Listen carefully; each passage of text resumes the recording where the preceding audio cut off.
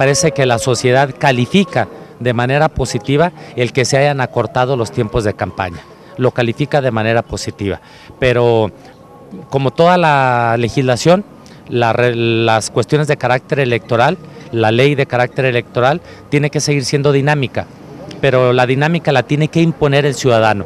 Por eso creo que después de que valoremos los resultados en, su, en los números y en los aspectos de calidad, que sean los puntos de vista de los ciudadanos los que determinen hacia dónde deben de seguir las campañas electorales en su duración.